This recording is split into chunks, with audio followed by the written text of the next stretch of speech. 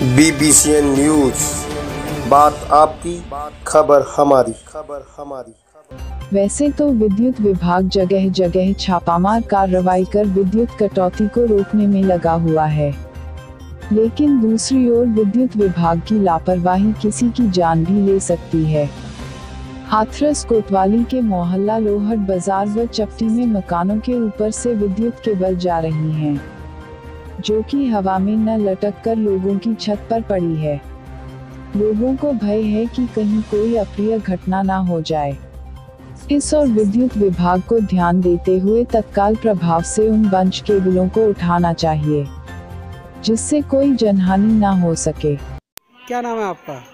मधु गुप्ता। मधु गुप्ता जी ये जो तार आपके छत पे से जा रहा है, कितने समय से पड़े ये काफ़ी समय से हो गए सात आठ महीने इस तार से।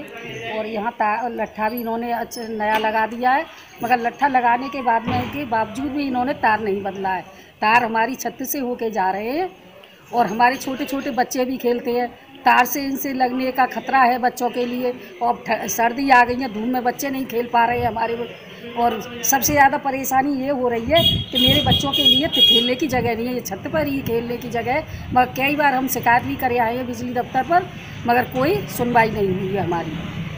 अभी तक किसी ने कोई सुनवाई नहीं कोई सुनवाई नहीं की है और कृपया यही कहती हूँ कि इन तार को हटा के मेरे बच्चों के लिए और कोई भी हादसा होता है मैं तो मैं आपके लिए आभारी है?